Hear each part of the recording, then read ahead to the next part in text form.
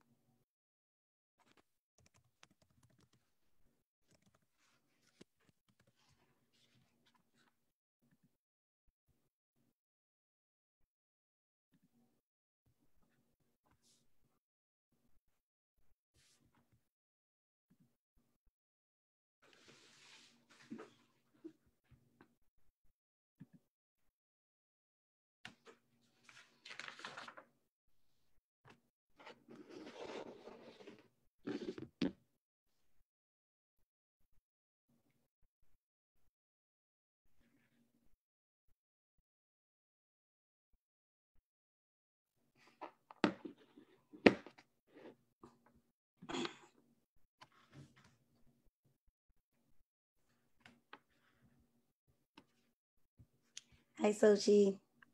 Hey, folks. I just got on using a, I like went to re-register and it's let me on this way. I just want to make sure I'm in the right place so there's not like a separate, I'm cool here. Okay, great.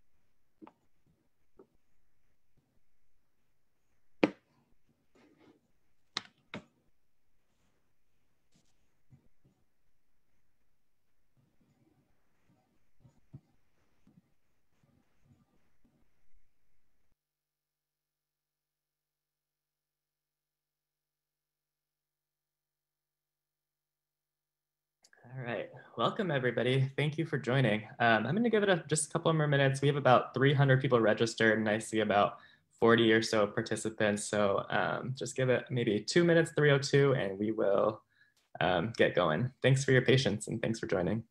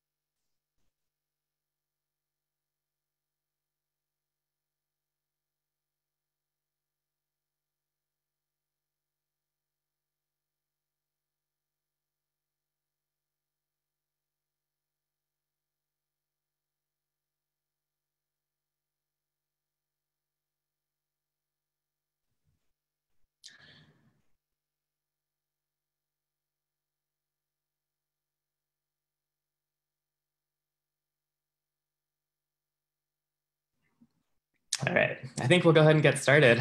Um, thank you all so much for joining us today for this conversation, Divest to Save Black Lives, Invest to Heal Communities, centering impacted voices to reimagine a new vision of justice.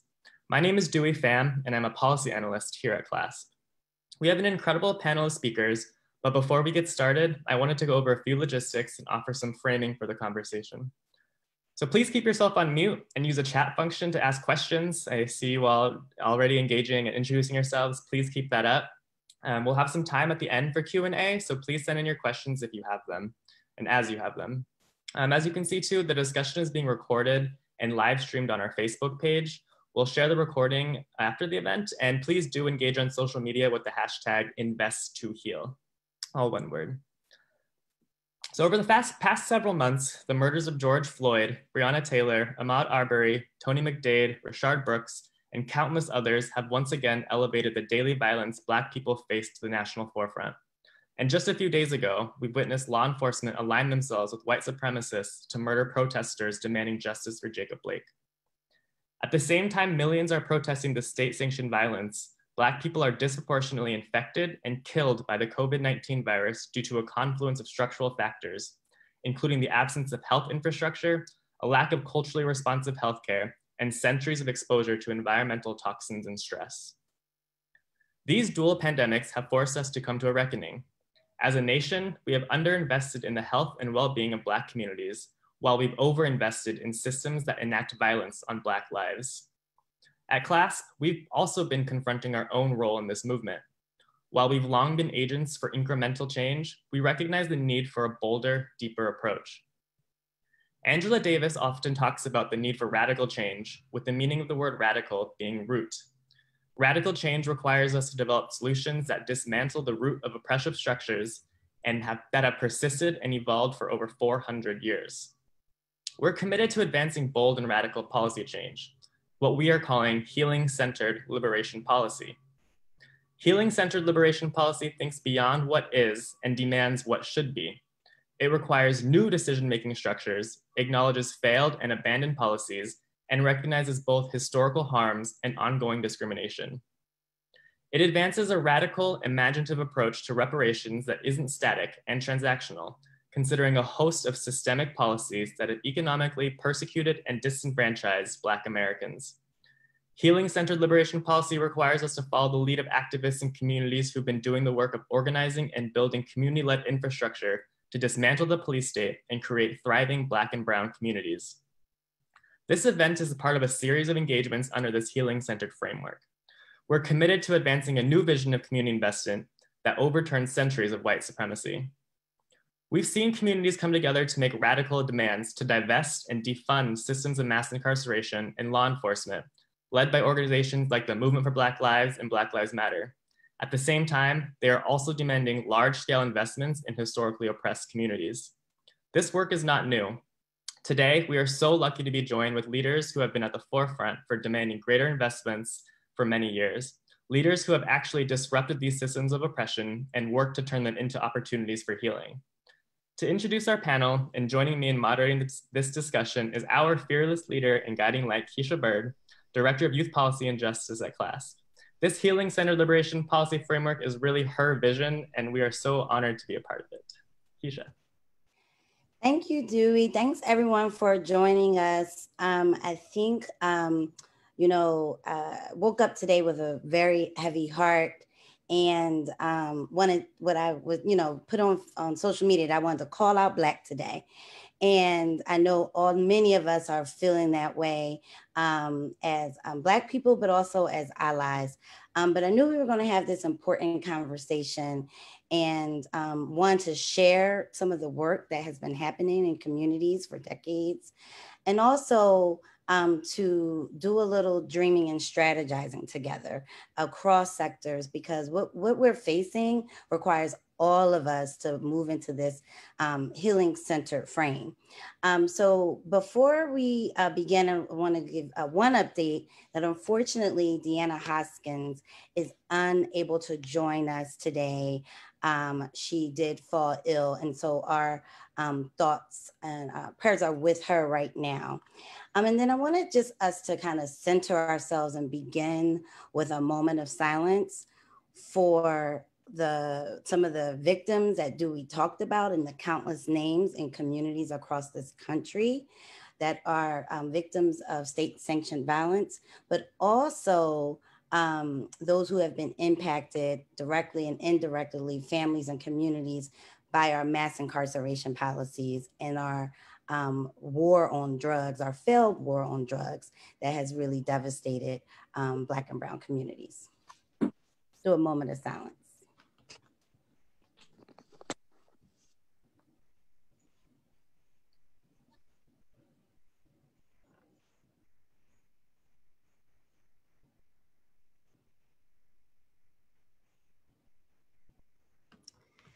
Okay, all right, thank y'all. So um, we are also still joined with two um, local leaders, um, national leaders as well, um, who've been in this uh, movement and fight for justice. So we have Terry Green, who is the founder and executive director of Think, Make, Live Youth which, which does work in uh, Columbus and Ohio and across the nation. And Sochi Bevera, who is the director of the Racial Justice Action Center, who does work in Atlanta and Georgia and also across the nation. So their full bios will be dropped in the chat so you can read all about their work, but they're going to get an opportunity to share about themselves and their work um, right now. So I'll start with you, Terry. Um, if you can just briefly just introduce yourself, tell us the work that you've been doing to shift investments away from mass incarceration and law enforcement um, and those who've been most impacted into investments that are most um, impacted by um, the criminal justice or criminal legal system, as we have been saying as well. Thank you, Kisha. I truly appreciate you for uh, the introduction. Uh, and also thank you, D- uh, Dewey, for your leadership uh, with CLASP. Uh, I know you guys are doing some great work, uh, and I, I'm I'm glad for you guys to be able to invite me on this platform. For for everybody, my introduction. My name is Terry Green. I am the founder and executive director of Think, Make, Live Youth nonprofit, which is a, a local nonprofit uh, based out in Columbus, Ohio, that was founded in 2017 uh, to support young people, opportunity youth, uh, foster care youth, and justice involved youth by connecting them to uh, resources so they can thrive out of their situations. Um, and for me, myself, I was a homeless youth uh, at the age of 15 years old. I watched my mother get incarcerated and I was uh, disconnected from my father, uh, dealing with some challenging circumstances in terms of uh, where I was going to eat, sleep, and survive. I ended up being affected by the criminal justice system. And so now I'm standing on the forefront as a leader, as an executive director, uh, supporting other young people who uh, experience similar situations. and my journey started off as a, a motivational speaker and a youth mentor. I was a graduate of uh, Youth Build, and I see some of my Youth Build uh, fellow people on here. Uh, Dorothy Stoneman, Dorothy for being on here, who's the founder of Youth Build, and also David Abramovich, who also worked for Youth Build. Uh, shout out to them too for uh, being on this platform. But I want to say that uh, in terms of the question, what what am I doing in terms of supporting young people? Um, during this challenging time is you know our organization we you know primarily like i said work with those foster care youth um, those justice involved youth. So figuring out ways that, you know, as an organization that was around, um, you know, having large events, bringing young people together um, during youth summits and gatherings and such of that nature, we can't do that anymore. So now we shift to the focus of how do you support young people during this time. And a lot of young people uh, need resources, um, need resources in terms of um, employment resources. And so we are, uh, we actually in the process of um, uh, finishing off our um, pilot program that was actually a program that was funded by the Parks and Recs uh, here in the city of Columbus to actually support those young people. So being able to be on the forefront to actually give them employment opportunities um, so that they can be able to um, grow out of these situations is, is what we're doing uh, in terms of working with uh, opportunity youth, justice involved youth, and foster care youth in, in Columbus, Ohio. Thank you. And Sochi, tell us a little bit about um, yourself and the work that you've been doing to shift investments away from mass incarceration, law enforcement, and to communities that have been most impacted by this um, criminal legal system. Definitely. Thank you so much. And thanks, Kisha and Dewey. Um, I agree. I'm really honored to be on this panel and to see all the introductions. There's just people from all over um, doing amazing work. So um, I'm really glad to be here. I'm Xochitl Bevera, Director of the Racial Justice Action Center. Um, and our history, kind of our work, that's what we've been about for the last eight years. We're based here in Atlanta, Georgia. And um, our work has been committed to um, bringing together folks from various impacted communities. So oftentimes when we say directly impacted, we think of a singular monolithic community and we also know that that's not that's not true. We are many of us impacted in different ways by criminalization and our criminal legal system.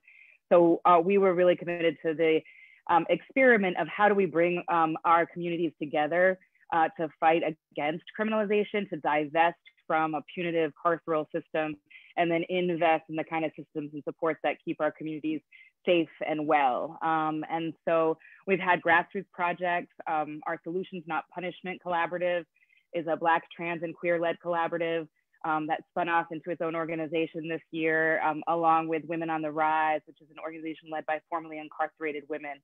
Um, and both of these organizations, former projects, now organizations, um, both work locally and regionally um, from the lens of, you know, really centering impacted people and, and like I said, working across community, but to figure out how it is that we can actually move resources um, and how it is that we can shift culture as well in our communities um, and in the larger society so that we stop thinking, we stop equating safety and wellness with police, jails, and courts.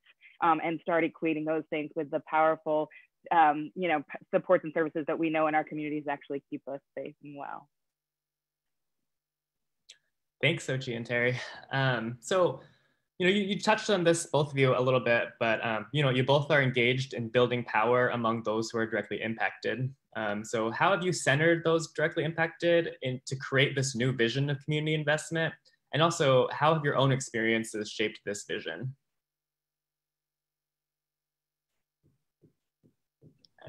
Terry, you want to get started first?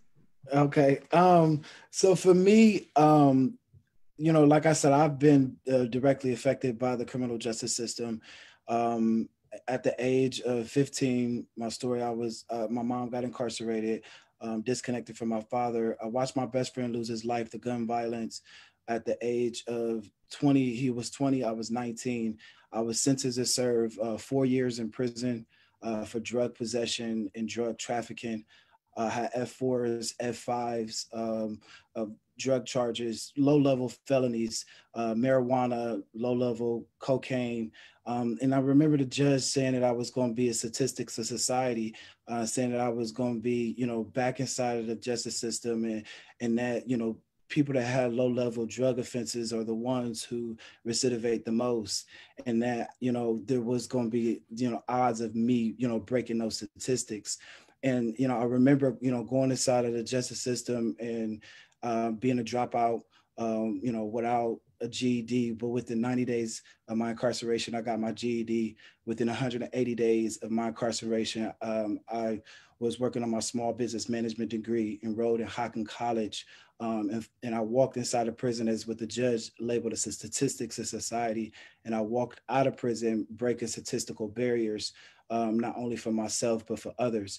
And just recently, I had the opportunity to um, apply for my record expungement. Uh, and it was truly a, a, a challenging process for me. Um, so I, I was uh, actually um, it approved well not really approved um, i was up for my expungement um, in 2019 and the challenges that i had uh, some fees that needed to be waived um, some old core fees. And so i uh, filled out a motion um, to get those fees waived and they end up sending the information to an address that i had in the system 10 years ago and not the address that i sent on the motion and so I went back to the court and asked them about the paperwork. They couldn't find the paperwork or whatever the case may be. And so I asked, Can I speak to the judge? I said, Can I speak to the judge right now today? And he was like, How could you do that? And they sent me to this one floor and I talked to, you know, some gatekeeper or prosecutor, whoever it was. And I was like, I need to talk to the judge. I need to ask him to get these fees waived because I need to get my record expunged and you know i'm eligible for for my record expungement and so that day, you know, the judge, right after his lunch, I came, uh, I went up there um, and went to the courtroom and, and, and sat in front of the judge. And, you know, he gave me a couple, you know, backlash. So talking about, you know, why do you want to get your record expunged and such of this nature back and forth. And, you know, why didn't you receive the paperwork? And I'm telling him it's 10 years, uh, you know, this address that you sent that was you know from 10 years ago and such of that nature. And so um, then he said okay you know what i'm gonna do? He said i'm going to um, waive the fees right now today. Um, and i said all right. And then what he did is he waived the fees. I went downstairs and i applied for my record expungement. Um, and within the first week of me applying the prosecutor Ron O'Brien um, here in Columbus, Ohio, he uh, did an objection um, opposed to uh, my expungement without even knowing who I was. And I, I, in the process, I was uh, reaching out to a lot of the people who I knew in the community that support me, from people from Ohio State to people from Washington D.C., from people to Rhode Island, from just all the people from the work that I've done throughout the throughout my community. And um, what I did is I worked with the Ohio Justice and Policy Center based out in Cincinnati and worked with an attorney to uh, put together a motion. Uh, and the motion that we put together, it, it, was so powerful that the prosecutor actually withdrawed his objection.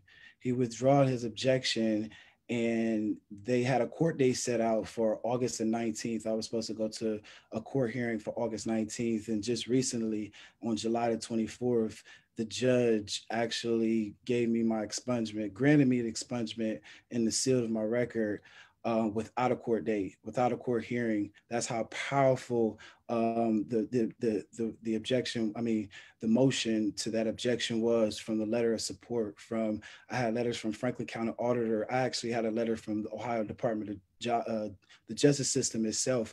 And so to understand like my story, you know, not too many people have experienced what I've experienced or will be able to have, you know, those powerful letters of support or even have a story where you don't have to go through a court hearing and a, and a judge will be able to grant you your court court uh, be able to grant your expungement off rip. There's a lot of people that's going through a lot of different challenges, and I want to be, you know, one of those stories as an advocate uh, for those people. If you're not connected with me on LinkedIn, please connect with me on LinkedIn. I, I built my LinkedIn following up to 22,000 followers um, from people all over the world that's connected with me. But I'm just saying that I want my story to say that you know, it's time for, you know, my brother, sister, cousin, your cousin, brother, sister, uncle. I know there's a hundred and what, 19, 120 people that's on here. How many people that have someone that's been affected by the justice system that, you know, are eligible for their record expungement or don't even know that they're eligible for the record expungement? You know, my story is that, you know, I, I was convicted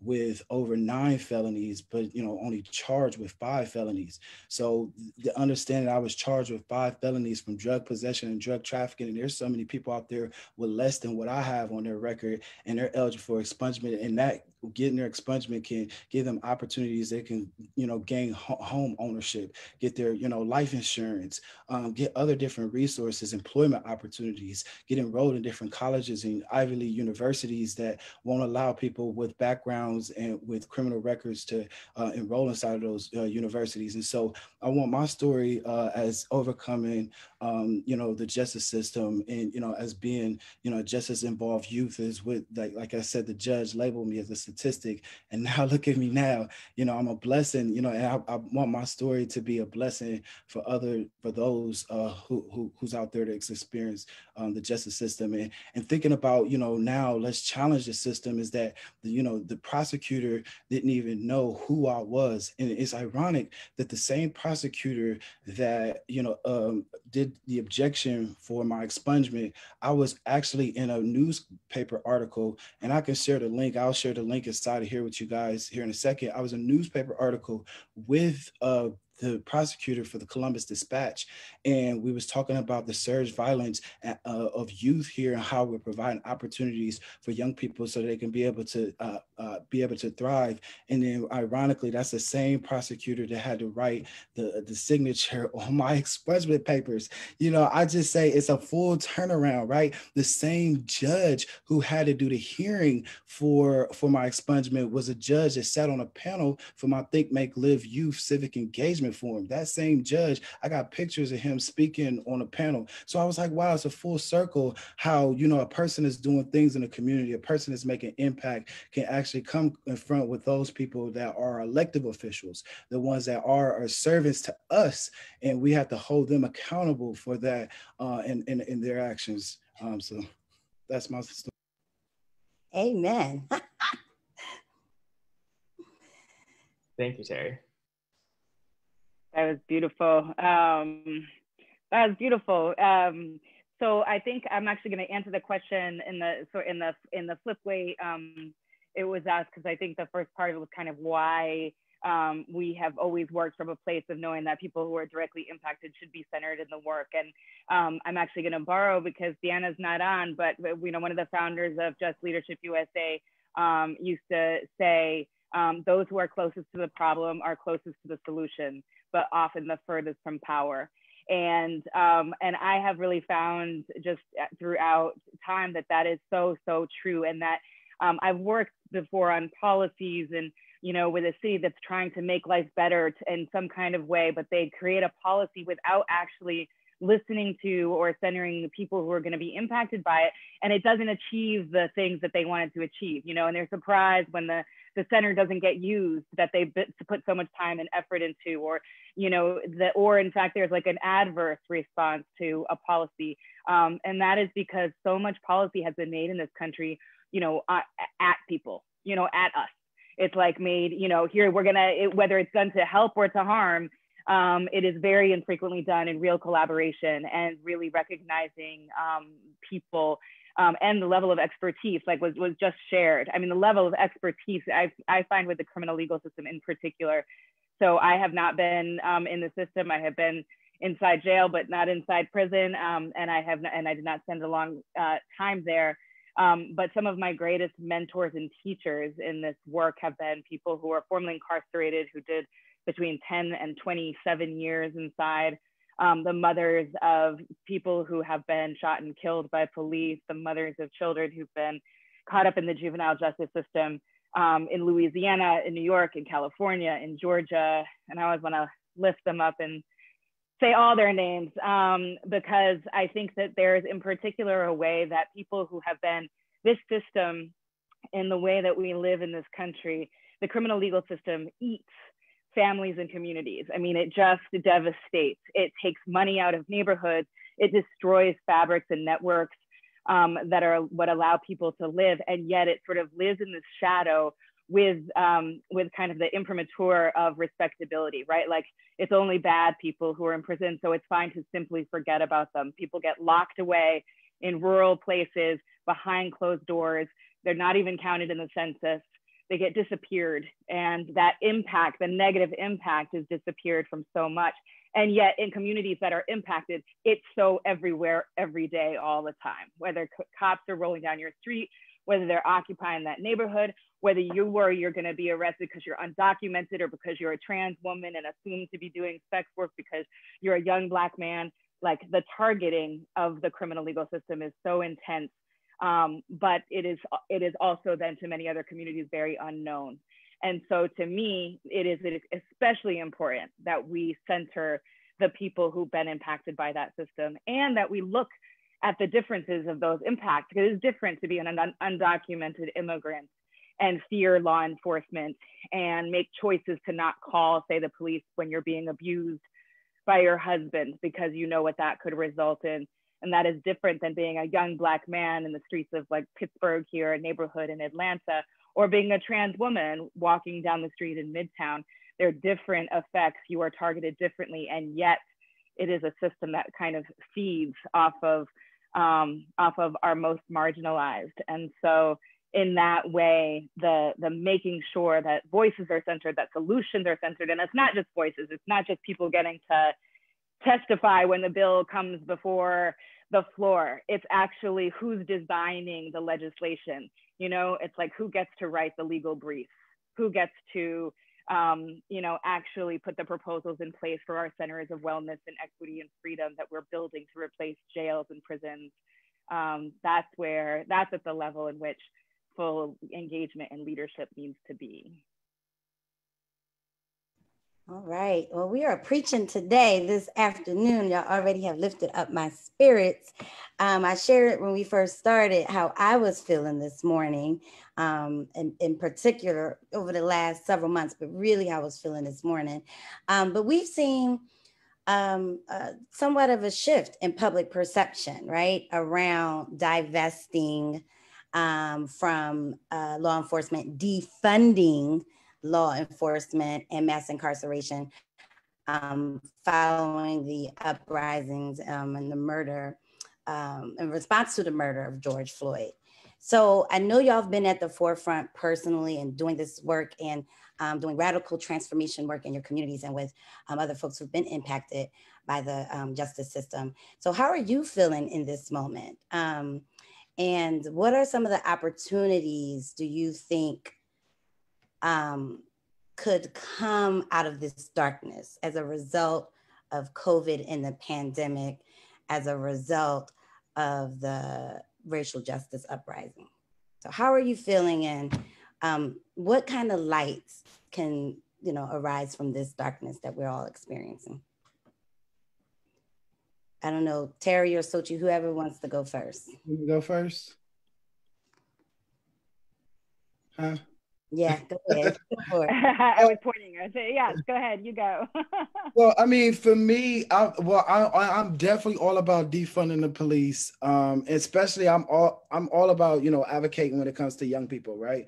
And so, thinking about you know, ending the school to prison pipeline and being strategic around um, even the model that, you know, my good friend, social justice activist warrior uh, Amber Evans used to say, uh, counselors, not cuffs, right? Uh, and, and how can we remove some of that funding that those millions of dollars that are going into oppressing our communities, oppressing our young people, oppressing our uh, these systems, and in putting those resources into our mental health, um, into healing our communities, into healing our leaders, into supporting those uh, those who are in need um, during uh, challenging times uh, such like this. And so, and I think that you know, it is also time for, you know, and for me, um, I, I speak when it talks about being a radical social justice leader. Like I, I've been doing protesting before all protesting was like the thing to do, right? So like to see how protesting turned uh, you know, the way it turned with George Floyd, I was one of those people that was on the forefront. Um, if you follow me on social uh, media, I was at every different march um, that was going on in, during that peak of that time. And and to see that you know how many young people that was out there i mean it was young people that you know was born in the 2000s and young people from 18 19 16 17 years old older people white people that was just standing up and saying listen it's time for something different. It is time but we are not we are already been affected by this pandemic and all of us has been on this quarantine and we all been suffering from all these different job losses and these resource losses and all these different challenges. And now that we have to go through the the, the challenge of even acknowledging that African Americans, that Black people are human beings, let's first stop and think about that right is that you know for centuries and for years and for decades we haven't even been acknowledged as being human beings right? And so now it's time for us to kind of be radical in terms of not only just speaking about it, but really making action about it. And for all the people that's on here, that's the first action is showing up, right? It's showing up. And then once you show up and you receive the resources, you receive the knowledge, you receive the information, you do something about it. You make some form of change, you make some form of action, especially people with power, people with power, people in the positions, uh, you know, people that have privilege of power, using those privilege of power to be able to support those who are less of fortunate and understanding what human rights and, and the equal morals of people should, should be. She got me preaching now. Listen, look, but listen, you know, for me, I'm telling you, I, am fired up. I'm fired up. I got young people that's fired up. And, and, and, and, and I'm going to say one thing that we did too with our organization is on us history by uh, leading a youth justice march uh, here in Columbus, Ohio. Uh, we uh, 10 years old to 30 years old, and we marched from Columbus City Hall all the way to the Juvenile Justice Center. Um, the uh, Franklin County Juvenile Detention Hall, and we we spoke outside outside of there, and then we marched back. And it was raining. We marched in the rain, uh, it was it wasn't raining really hard, but it was light rain but it was a, a, march for young people to speak out in the voice of those young people who are in our justice system right now, um, those young people who have been affected by the school to prison pipeline, those young people who have been affected by police brutality, um, the young people locally. There's been young people from uh, Tyree King to Henry Green, all of our young adults uh, right here in Central Ohio that didn't even make it to the age of 25 years old that were murdered by the hands of our uh, Columbus police. And so I, I speak out um, and speak up for you know those young people. And I think that you know in this time right now, it's time for us to kind of you know t- take owners, take action, um, and utilizing our power to to make real change. Right. What a word. Okay, Sochi, how how are you how are you feeling? And I mean, just catch the energy because I again now I'm feeling fired up right now. My spirit exactly. Thank you. Thank you. Appreciate it. Exactly. After listening to Terry, I feel differently than I did walking into this um, this this panel. So thank you for that. Um, because I do believe it is hard, right? I think for a lot of us on a day to day, it is heavy. The world is heavy. There is a lot.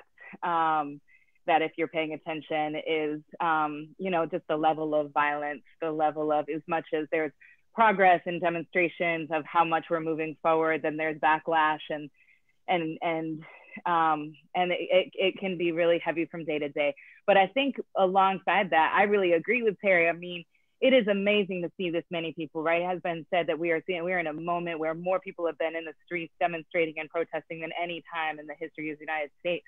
Um, that means that there is change on the horizon. The fact that now people are talking about abolition and divesting and investing and um, what it means to defund the police, and that this is on the forefront, and this sort of piece of information that maybe police violence is connected to these other issues. It's not just a you know, a, a, a, a strange aberration um, of our system, but actually it's at the heart of the system and it's part of um, the myriad things of, of, of, what is wrong with our criminal legal system.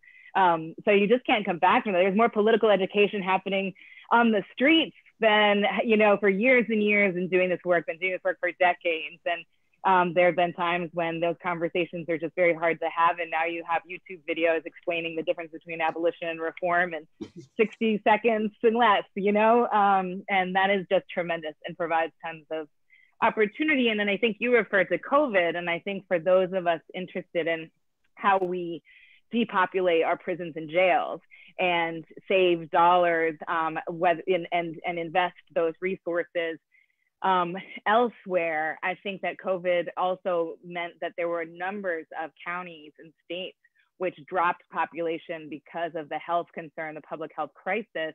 Um, and what it showed is that that can be done. And what it showed is that can be done quickly, and it showed that can be done without a negative impact on public safety.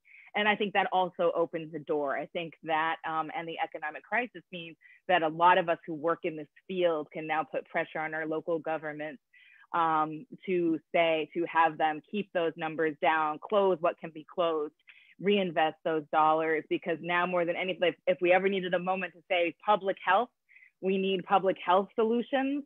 Um, and, and so it is also the time to say, and violence is a public health issue, not a criminal legal system issue. And so many of the things that we shove into our criminal legal system and have police try to address and jails try to address are public health issues. And if there's any place we shouldn't be investing now, it's it's in there. So I do think that there's hope, and I like to listen to the preaching. I need more of it because I can get down on some days, but I do think that a, a lot, a lot has opened up for possibilities and opportunities.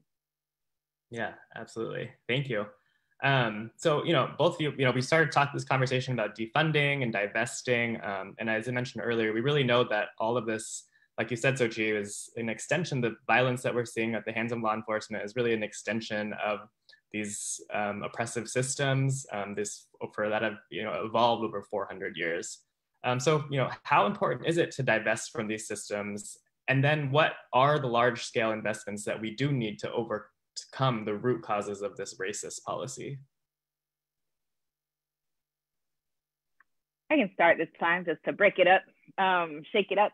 Um, and I think what I'll do is actually answer just by talking a little bit about the work that we're doing here in Atlanta, because um, it is so critical, right? Um, that we, as a as a um, collective and as a society, that we start to divest from some of these systems. And what I mean by that is definitely sort of take the dollars, but I actually mean end the institutions, right? Take there's a way in which our criminal legal system has become the largest domestic um, institution that we have. It ha- hires more people if you put our police together with our correctional officers, if you think of the building and the infrastructure, if you think about the budget, um, that more money, more resources flows into that system than any other, so than our education system, than our healthcare system. Um, and what does that mean? And what does that do? And what does that mean for years and years now of divestment from those other systems? Um, and so for us here in Atlanta, we spent a lot of time early on um, looking at the different policies and laws which landed our people behind bars. Um, lots of times for the pettiest of offenses, lots of times simply for being Black and poor, being um, undocumented and poor. These things landed people in a jail that then the city spent $32.5 million every year to run. Um, and our jail holds people only for city ordinance violations and traffic violations. So even if you were accused of a misdemeanor, there's a different jail for you to go to. So this jail literally um, served as a as a homeless shelter, as a um, mental health hospital, and years and years it ran like that. That was sort of the best solution that the city could come up with, and we spent a lot of time trying to implement diversion programs, um, take out some of the laws that land people there. But in the end, what we saw was this building in downtown Atlanta, 470,000 square foot behemoth that looms in the, the downtown Atlanta area that just exists almost like as a reminder of the kind of oppression and the kind of history, right? And, um, and it sends a message, I think, to our young people, um, to all people about, you know, where the city's uh, really going to put their money. And we said that's what we want to, that's what we need to target now. That's what we want. We want the dollars that went into running this facility. We want that facility. And so our work over the last year and a half has been to close the jail and then have it repurposed or replaced because we think demolition and replace might be the best option um, with a Center for Wellness, Equity, and Freedom. And we've worked very hard to get council members. We got the mayor to sign uh, legislation to create a task force to engage thousands of people in the community to give their vision and input because what we wanted are who's been harmed by that jail, who's been inside that jail. Those are the voices that we need to tell the city what it needs to become, what needs to be there in its place.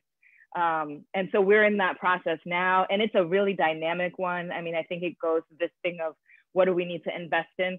It's like we need to talk to communities because it's different from place to place. My guess is it's different in Ohio than it is here in Atlanta. This is different than New York. You know, it's different from neighborhood to neighborhood, even.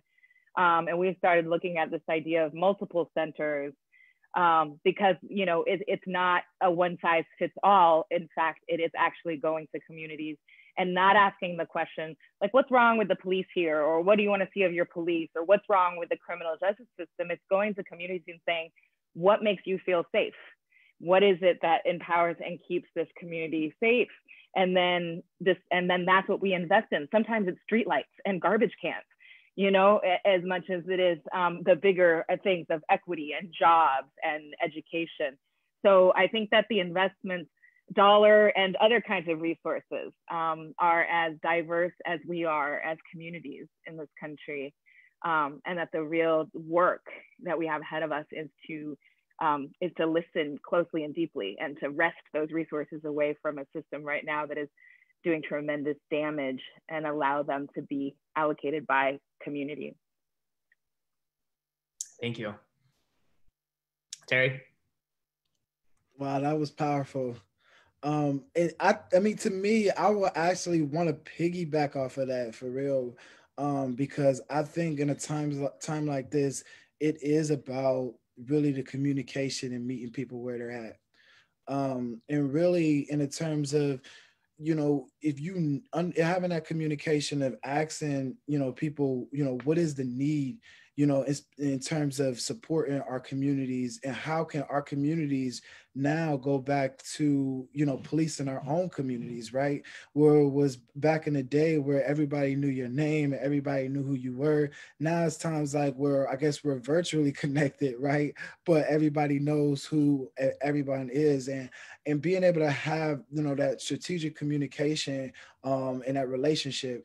And then i also want to speak about like really you know provide more uh, resources around mental health, um, especially in our low income communities, right? You know, our generation, um, speaking of the millennials and speaking of like the younger generation, is a generation that's really speaking about, you know, that word mental health and speaking about it. You know, my mother's generation and generations before, you know, their their thing was about let's just sweep it under the rug, right? No one talks about it, no one, you know, speaks about it. And for us, we say no, these things are not right. And so, you know, just hearing some of the things that are, some of the young people are dealing with with just personal in-home um, domestic violence situations that are traumatic to you know the growth and the development of some young people. And thinking about how disruptive the education system is right now in terms of the virtual and a lot of people are dealing with a lot of stress right? You know a lot i was talking to my sister the other day and she was just telling me she says she said, brother, I'm working two jobs and I'm going, you know, I'm working online to do school Plus, I gotta, you know, feed, cook, clean, and then I don't even know how to even work that virtual thing that they got on the school, right? I don't even know, you know, half of the elements that comes with it. I don't even have the time to even learn all of that, right? And so, how are we, you know, thinking about ways to support those young people that even already had challenges before when it came to school? And I know because I was a mentor, I was, you know, dealing with the VCAP program and mentoring students that were on VCAP and and VCAP is basically a, a, a, program that young people, if they're, you know, uh, failing at school, they can be able to make up some classes and virtually. And so, you know, some of those students needed other support outside of just the support from the VCAP, but just somebody to talk to, right? Young people are going through things and people are going through so much in the community and they don't even have that conversation. And sometimes people just act off of PTSD, right? That post traumatic um, uh, stress disorder where you just, you know, something you know, and they ask like well what's the spike in in the killings? And, the spike in killings and teen violence is that you know young people don't even have pro-social uh, activities that they can do that are you know positive the the parks and recs are all shut down and all of the different community spaces that are positive and provide those different resources are now tuning into trying to get people virtual. Well you can't get these young people virtual because they ain't got a laptop at home or they don't even got good wi-fi or they don't even got those good services and so when we thinking about as we moving forward, uh, in, in, terms of the investment, there's a lot that has to be invested in terms of, you know, um, just the the, the pro social uh, and mental health when it comes to just people's thinking and awareness. Because that that's just I think especially in our community in terms of healing uh, and it goes both ways right? Because there's some people that you know are you know been the oppressors has been traumatized too, right? And they need some form of healing and some form of uh, discussions and tra- traumatic experiences that they experience in their lives that cause them to make act out these, you know, violent, vicious acts on Black people, on young Black lives, you know, and, and for them to to be going through what they're going through, they need some form of healing too. So I think it, it, we should create a space um, that's called a social justice healing space, right? Where we could come together together we can have a, a, space of just you know especially those there's a lot of people that's on here a lot of educators a lot of organizers a lot of leaders you know for all of those who are on here it, it's, it's time for us to carve out that space to you know you know release the stress that we have on ourselves. And i think that that's what's going to be best for us moving forward especially after we're overcoming the, the, these these challenges uh, circumstances like this where we're dealing with the pandemic and things are shutting down even more as, as we see and we don't know what it's about to look like in this wintertime. No one knows what's about to, about to happen in the wintertime, and no one knows what's about to happen in this election coming up in 2020 either. But that's a whole other story. and so listen. Um,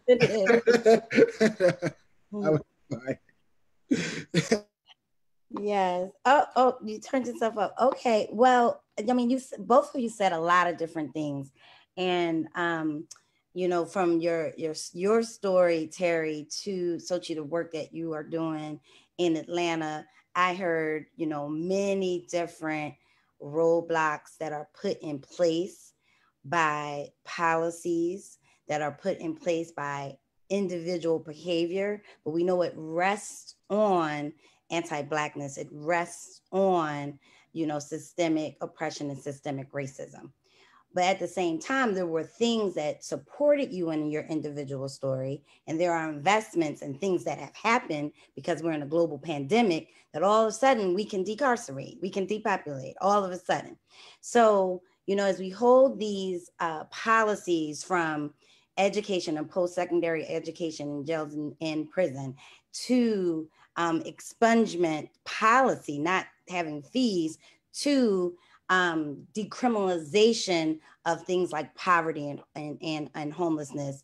Um, what are some of the things that you all are seeing in your work as you go from this power and movement building to systems and policy change? So I heard a lot of them in your stories and what you said, but what are some of these specific things? We have a lot of different folks um, joining us today from, like you said, from education to workforce development to folks who are in the, the trenches and, and, and doing the justice work. But what are some specific um, systems or policy changes that you all have seen or have been a part of in shifting?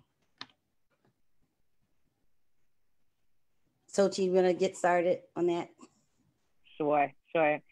Um, it's a really good question. I think that it is so important that everybody in the fields that they are in um, are thinking right now about what um, kind of resources would mean to your sector. You know, I think that we've like operated a lot of us um, just with a lot of scarcity over the last few decades, and, and now is the moment to say if if me and my education system, my role as a teacher, my role as in workforce development, what is it that we would actually need to do the work that we know needs to happen?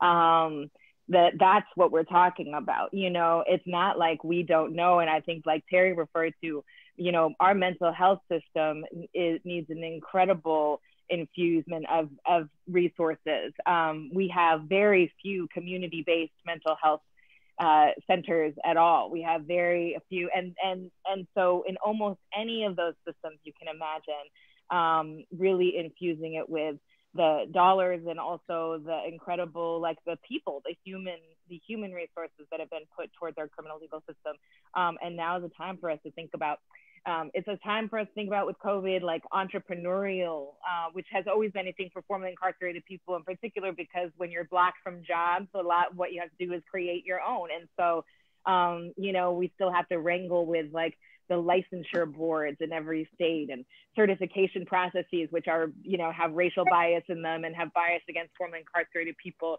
So it's like finding those places of barriers um, but you know investing in those kinds of because the, i think the job market that we've known up till now is about is is going is changing has changed and is going to change more. And so how do people um, you know make enough to to stay alive? And um, like terry's example around like people having multiple jobs and now school being online I think new things like school collectives are going to start, right? We're seeing it already, like people doing kind of homeschooling where there's um, more community base in that. Um, I think food systems.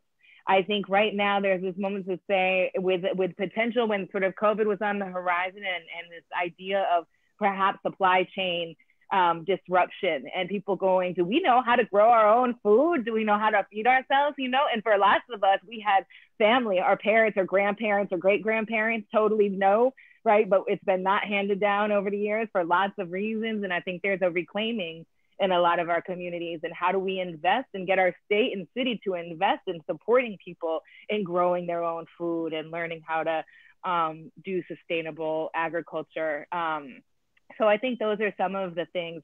I know a lot less. I come from a background a lot less around education, though I know other people could pick that up. So there's certainly things there, but I think almost all of the systems which really support um, us and our human development um, could use could use those kinds of investments.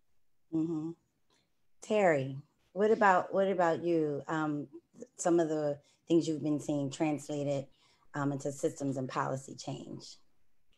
Um, so for me, can you hear me? Yep. For me, um, as soon as this uh, kind of social justice uh, movement happened with George Floyd, uh, a few people kind of reached out to me.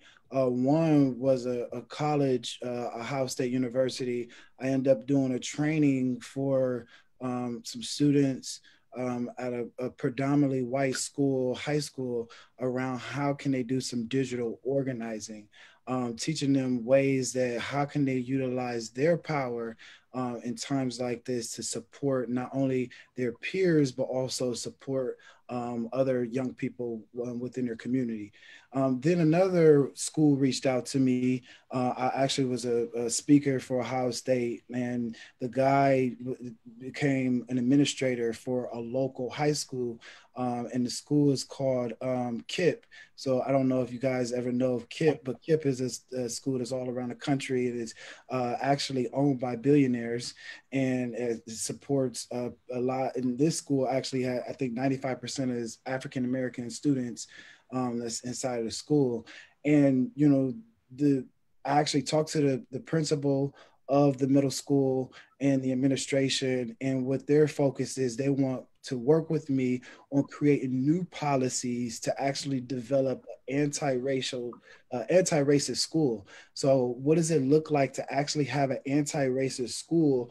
And how can they be strategic around holding um, you know their administration accountable but also adding social justice to their curriculum as a forefront of their curriculum and so I actually met with the diversity and inclusion team, and we're in the process of really, you know, strategizing what that looks like. Uh, of course, there's a lot of different new things that's coming along. Uh, and then the last one I will speak about. So I'm, I'm all about when it things about youth and education. Um, it's ending the school to prison pipeline.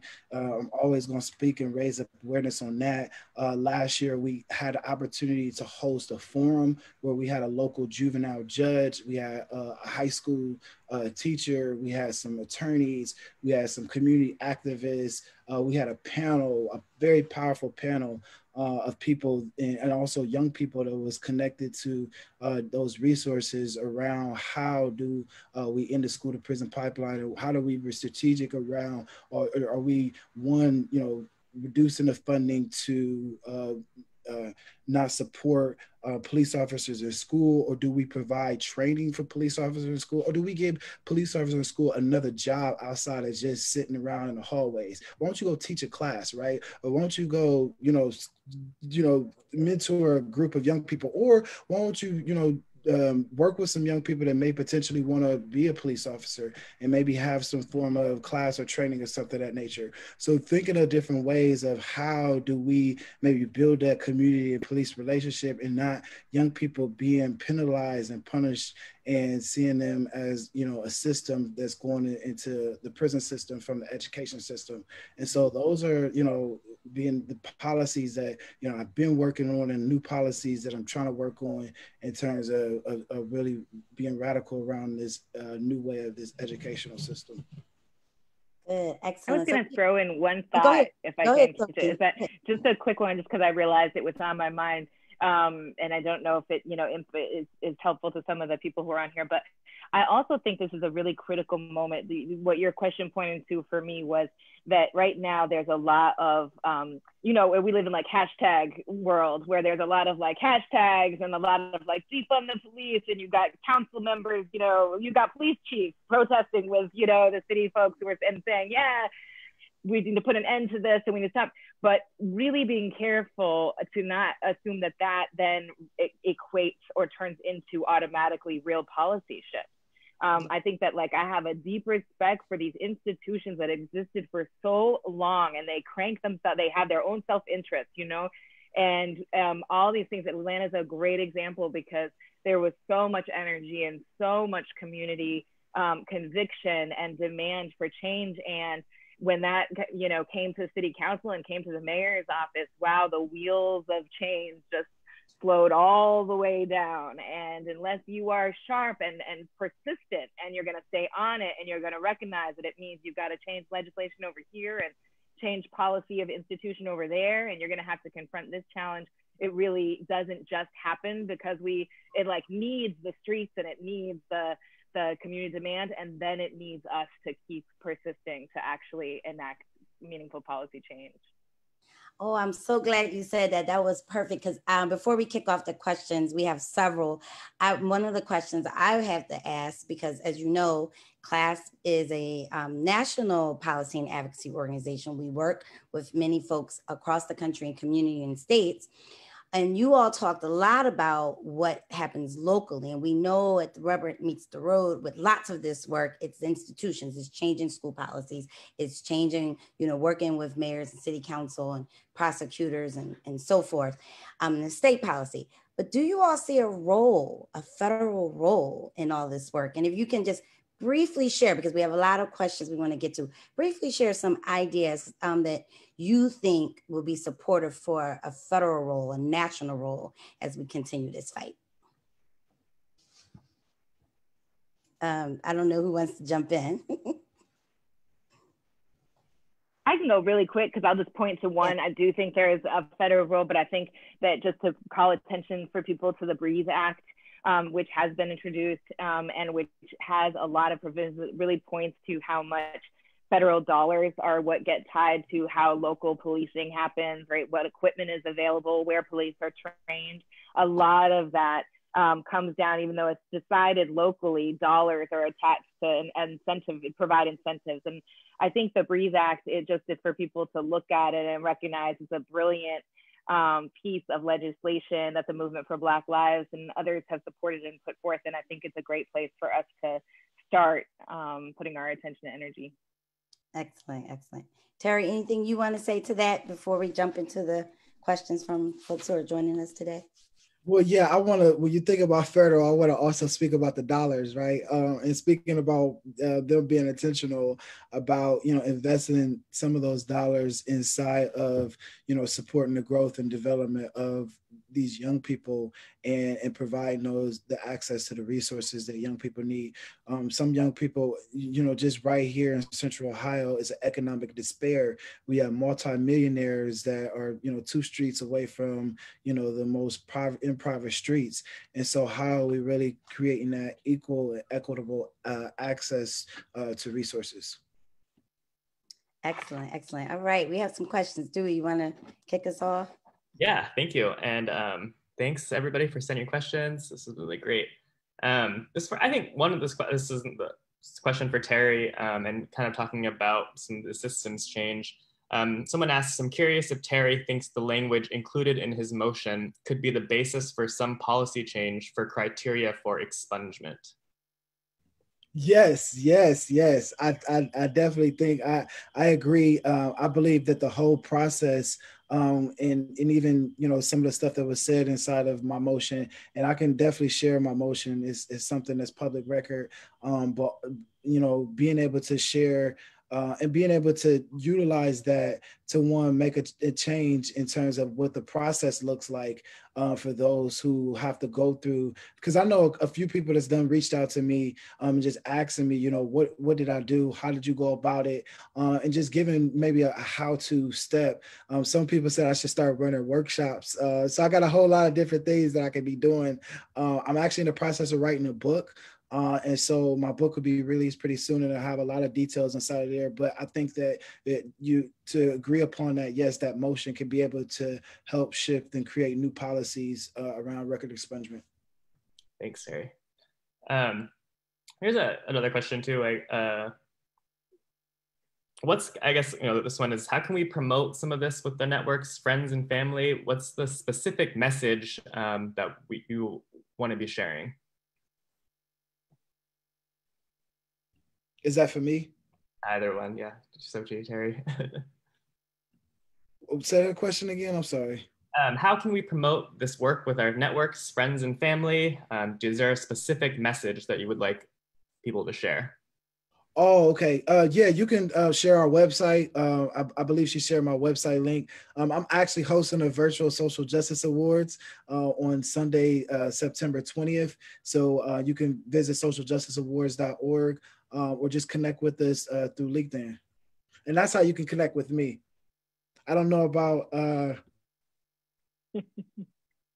yeah, that's great. Um, yes, definitely. Um, in terms of message, I mean, I would love people to support the work in Atlanta. And um, so both websites, we have rjactioncenter.org and then also closetheJailATL.org. Um, you can sign up for updates. You can, oh, there's always action to take. There's, you know, call the mayor, call the council members. Um, and um, right now we have a survey. We had an incredible architect and design team called Designing Justice Designing Spaces come and look at the jail and give four recommendations for what it could be turned into. Two of them are about repurposing and renovating it, and two of it demolish it and and replace it. And um, they're beautiful. And we have a survey. We would love for you to take the survey and um, vote on which you know you think. Um, and of course, it's more for local folks than national folks, but still, your input is valuable. Um, and then I think in a more broad way, you know to take the message for me i have i have this thing people have for so long all we've been forced into kind of the silos of working in our in the criminal legal system so you have formerly incarcerated people working on issues of expungement or ban the box and then people who are working on police violence and police brutality and i think now is this moment to make the connections and wherever you work Um, I always say this to every elected official I talk to. Something when a bill comes across your desk and it calls for harsher penalties, consider rejecting it. Just consider it. That's like the fastest response. Everybody, it's the go-to right now. If there's a problem, make it illegal. And that needs to stop. And we need people on all levels to stop and to recognize that when you maybe benefit from the um, quote unquote inmate labor that the jail does in your neighborhood when they come through and pick up trash. Just think about what that is and what that supports. And um, and at all turns in all places of our life, just challenge that dehumanizing of people involved in the criminal justice system. That that go to. I was just on a Facebook exchange with somebody, you know, who I could tell just so clearly wanted to be like, they're bad people and those bad people get locked up and I don't know what, you know, and it's just like, were, would it, were it so simple, that would be, you know, that, but it, but we know it's not. We know the system has been designed to target many of us and um, that there are so many needs in our communities. And so just to like reject that, the reject the, the base dismissal of um, people because they are involved in criminal, the distrust, the automatic suspicion, all of that, really recognize how much racism, sexism, homophobia, um, and you know, and, and capitalism and classism play uh, in that system, and and who it who it delegitimizes. Um, and I think in any place that you are, try to raise that up. Try to bring um, people into the fold who can bring other perspectives and talk the real deal about what those systems are like and what they do to us. Um, and ensure that we are at every stage and every place. So don't think it's not your your job to oppose the new law that's going to put people in jail for 10 years for ex, you know for violating their probation like all of those issues are should be all of our issues yeah. Um, another question here. Um, it's it's kind of when Xochitl we had our prep call. You said you mentioned how frustrated you had been and how we need to respect some of our opponents more. And so this question kind of gets to that a little bit. And it, you know, it feels like nothing has been working so far where can we begin to invest in healing of our communities?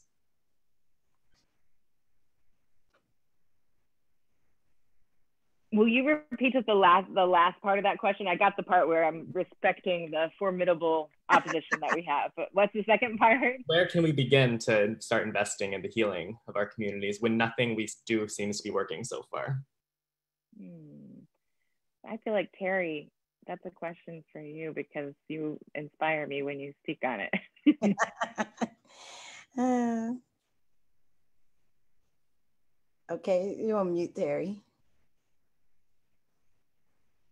Can you hear me now? I'm sorry. I was trying to, I was like, hold on. Say, say the question again. I'm sorry. Say it again. Where where do we begin to invest in the healing of our communities when nothing we do seems to be working so far? Um, to me, I think really, I mean, the first is education, right? Is because the lack of of people not knowing how important it is um, for mental health or what mental health or what that actually is in terms of stress and in terms of healing. Um, some people just need to be educated on on it first, um, and and then two, really providing you know those resources into you know those counselors um, and, and when i'm thinking about the educational system you know they say there's certain schools only have one or two um, counselors in a university or one or two counselors um, that's inside of a school or school district i should say. And so how are we being strategic around investing dollars inside of you know you know counseling support um, maybe even having you know pop-up shops uh, with counselors or having counselors on the corners or something like that right? It's time to be innovative right? It's time to you know now people are having church at the park right? What's what is like to have you know sessions where we can have group sessions? And I, I say some of the things is let's you know start with your own you know your, your own local community your own local family and finding you know strategic small resources and ways that y'all can kind of you know start healing with each other um, but I think the first thing is for us is like is how do we educate our community on understanding like it is important for you know self awareness. It's important for self healing and self encouragement and self empowerment, right? And some people, you know, don't live into understand that right and they you deal with a lot of stress Um, and I think that that becomes the first when it comes to to the healing process. I hope I answered that. Yeah.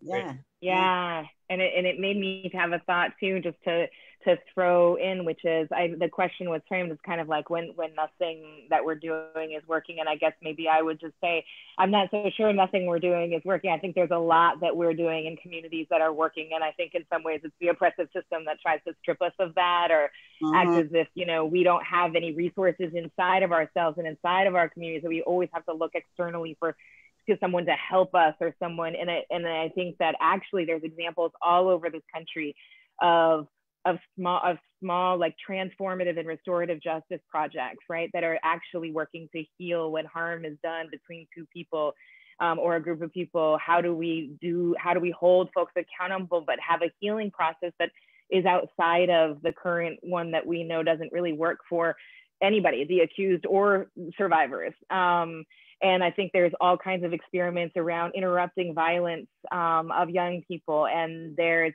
um, brilliance in our neighborhoods and community. There's neighborhood gardens all over there. So I think there's a lot that is going really well and that we do really well. And it's under resourced, it's under promoted, it's undervalued for sure. But I think maybe it's our job to to hold those up and to remember, you know, remember and remind ourselves like that we have um, we have a lot of resources in our communities that we can tap. Yeah, I really yeah. Thanks, Xochitl. Um, I guess just last question, unless anyone wants to say anything else, but uh, you know, maybe for you, Terry, um, what kind of suggestions do you have to get some, to get buy-in from youth? Um, and, and, I guess for you too, Xochitl, to get, how do you get youth, young people to really buy into this process and, um, and participate in some of these action steps? Um, well, some of the young people are ready. Um, a lot of a lot of the young people that I'm working with are kind of you know this is a this is a, a time for them to kind of step up and, and, you know make action. And you know another thing is incentivizing some of our young people.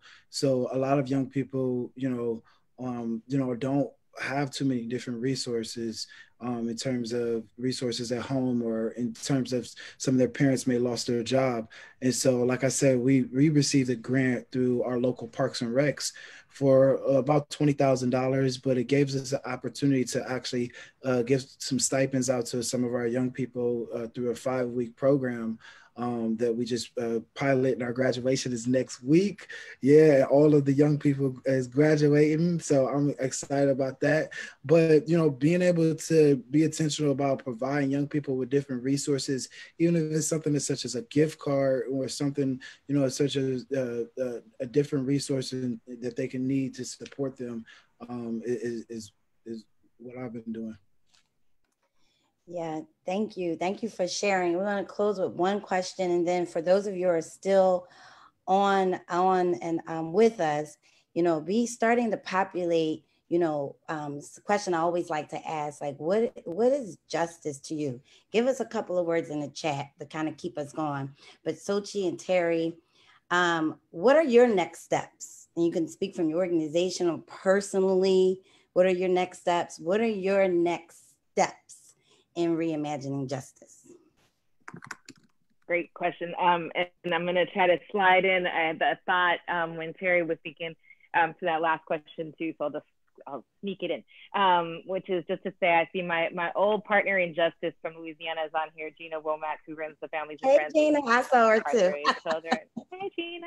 And um, and you know, we used to say at FFLIC all the time that like organize that what we do as organizers is actually remove the barriers for people to organize themselves. So it's a little bit less this feeling of, you know, I've got to figure out how to engage people and cajole people to participate in my thing and more folks are there are natural organizers. There are folks who want to fight for a better world for themselves for their children but there are lots of barriers. And how do you help remove those? And like one of the ones that was just being mentioned certainly financially that's a huge one.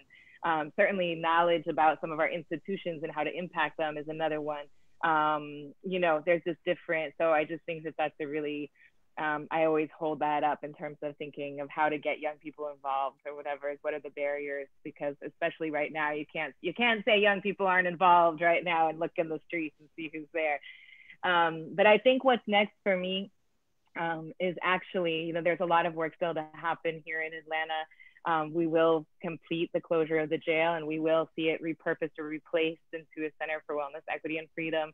Um, and it will be a model for the country. Um, and that all makes me very excited. And and I think then also there's just going to be for us some writing and reflecting about what we've learned um, through this period about the kind of work, the challenges, you know, what you referred to earlier, Zui, about, you know, we've learned some things about how how our opponents um, are the power that backs them, um, what entrenched uh, institutions what that really means when something has been built for 400 years for a particular purpose and that you know people can just say oh yeah we'll tra- we'll reform it we'll transform it. Well hmm you know what is how intractable is it and where do you have to kind of uproot it in order to get to it and not try to just like slap on coats of paint? Um, so I think that we want to do some reflection and writing um, so that so much of this energy that's bubbling around the country hopefully could learn from some of the, you know, the good things we did and the mistakes that we made um, and take that to the next take that to the next level in your local jurisdiction. Yeah, thanks, Xochitl. Terry, how about you? What do you what what's next for you in reimagining justice, personally or professionally? Um, what's up? well, yeah, I'm a I'm a do I'm a two, one, two and one. Um, well, uh, professionally, um, reimagining um, justice is definitely um, you know reimagine the way we support our young people um, during these challenging times. And, and, one of the things that we're doing with our organization is we're in the process of developing a virtual mentoring program that we're looking to, to launch in, in the fall uh, gives the young people the opportunity to, to connect with people, um, connect with mentors, um, and be able to accept and, and, and, do different goals that they can accept and, and having different challenges, but also engage. Um, two, we're looking to um, one, provide or uh, launch a school assistance program. Um, so for those students that um, parents that are needing in terms of support for for their students. Um, like I said, my sister working two jobs. She's you know and going to school. Sometimes some parents need you know a place where they can drop their student off for a half a day. We can help them with mentoring um, in in terms of supporting and tutoring their virtual programs, their virtual online schooling, um, and also engaging with some of our programs. Um, and then the other thing is um, we're going to launch a youth min, uh, a youth food truck. So I got a food truck uh, sponsor that I've been working with, and he's got a few trucks, and we're looking um, to kind of be able to provide more um, employment opportunities through food truck and food service um, and culinary experience for young people.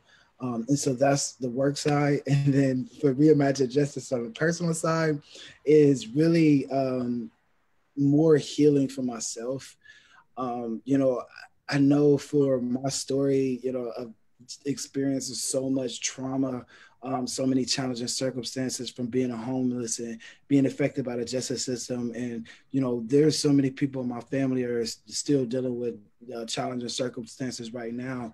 And even for me, myself, you know, after, you know, 15, 16 years later, after all the things that I've experienced, and here I am today, I'm still, you know, trying to strive for more healing for myself. And so um, more investment inside of, you know, getting counseling, um, more investment to, to my self-care, which is music. Um, I love music. I love going to the studio, making music, listen to music. And so I think for me is like, how can I reimagine justice? How can I, um, you know, pour from an empty cup? I gotta be able to fill my cup up so it's an overflow, so that when I can be out there and doing this work, I can be able to do it full throttle and do it as to my best ability, so I can be able to help change and save uh, lives. Yes, yes. Well, I'm gonna throw this to my um, co-moderator and partner in the, our justice work, um, intersectional justice work across CLASP. What's next for you, Dewey, and oh. reimagining justice? Yeah. Um, well, you know, I think I've obviously, you know, this conversation has been really important and so critical at this time. Um, like I said before, you know, we are are doing ourselves really trying to evaluate our role in in this radical transformative moment or movement, really. Um, and we're going to continue hold, holding these conversations, centering the voices of people who have been impacted, the people, the organizers who are doing the work, like we've gotten to talk to today. Um, next week, we're going to have a part two sort of with this conversation. So please do um, join us there.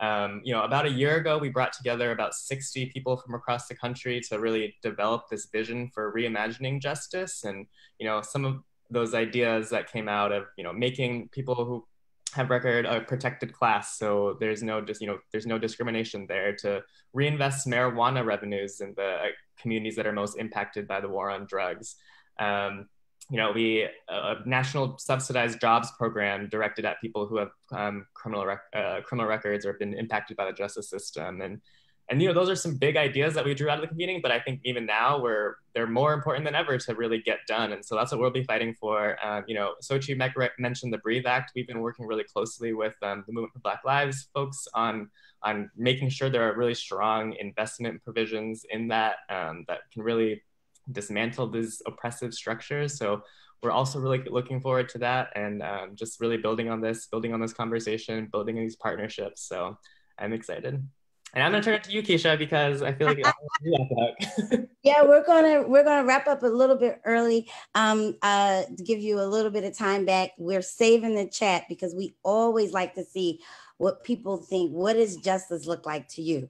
And um, you know, as a national policy organization that is white led. We are working on this change from the inside out. So we're committed to teasing out what, all the things we heard and how can we as as a national policy organization be an allyship to the movement not to johnny come lately and we've been working on this but we really have to kind of talk the talk and walk the walk when we do this but I think so. That's my our commitment to CLASP, and and all of you who've joined us. We really really appreciate you joining us, and hope that you can walk on this journey with us. And for us not to diminish the demands from the streets. Like, you know, Dave Chappelle said, the streets are speaking for themselves. So it's not about us diminishing, it's up to amplify and to use our policy expertise to figure out the ways in which the kinds of things Terry and Xochitl described today can happen. So that's what we're committed to. On a personal note, I need to be committed to my mental health because, you know, a lot of these things are triggering. And I, you know, I, I, you know, said to a friend, and I might even put it on Twitter, you know, I grew up in 1990s Philadelphia. And I have not experienced this kind of anxiety since I was a teenager. And Terry, you were talking about the generation. So you know, I'm a Gen Xer, so I'm like, okay. So, you know, when we're also in this movement, and this is what I'm just going to share to everyone as we close out, because we're all doing some level of social justice work, of some human support work. And so we have to fortify ourselves so that we can continue on the journey. So, whatever that means to you, I encourage you to do that. I encourage you to find the light and to look for the inspiration. I know certainly this conversation, all of you on the Zoom today, um, Terry and Xochitl and, and Dewey really have enriched me. Shout out to the rest of our team, Kayla and Whitney, who's also been a part of us organizing this and us really thinking about what does healing centered liberation policy look like in today's context. So enjoy the rest of your afternoon and take care of yourselves and be well. Thanks, everybody. All right. Closing this out now. Bye. Thanks, y'all. Bye. Thank you. Bye.